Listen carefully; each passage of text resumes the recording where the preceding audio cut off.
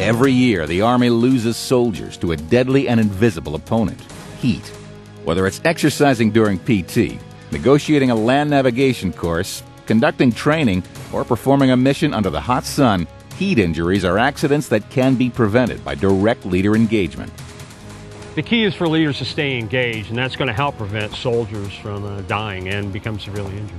Engaged leaders incorporating the sound principles of composite risk management into their daily operations will help keep soldiers from becoming heat stress casualties and could possibly even save lives. We all know heat injuries are a major threat in both training and combat. Army operations require our soldiers to constantly train and operate in severe weather conditions and areas of high temperature. As leaders, we must remain engaged in order to provide the best protection for our soldiers. The best protection is prevention.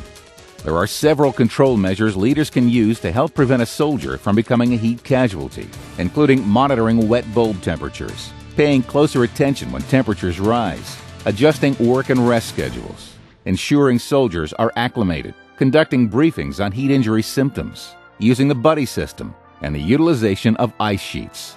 Monitoring soldiers' activities may help prevent heat injuries long before a dangerous situation becomes catastrophic.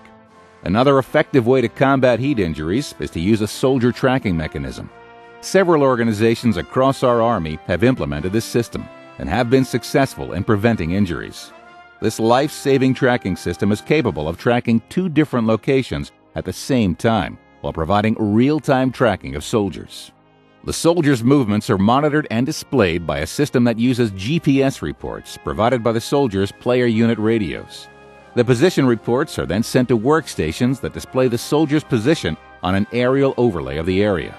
This system is one of many controls a unit can use to prevent a soldier from becoming a heat casualty. It's devastating to lose a soldier to a heat injury, especially since it's an injury that can be prevented, uh, obviously through uh, prevention through the soldier himself, but also as a leader, there's steps that we can take to uh, mitigate the risk. Just having a system be able to find them, know exactly where they're at at all times is, is, is very reassuring that you can go out and, okay, hey, you know what, we need to find this guy. He hasn't, he hasn't moved in a while, uh, and you can close with on him immediately. So that's, that's pretty reassuring to have a system that can, at a minimum, tell you where these guys are at. Composite risk management should be a continuous process applied across the full spectrum of Army training and operations. Through the engagement of our leaders, we can help ensure that Army Safe is Army Strong.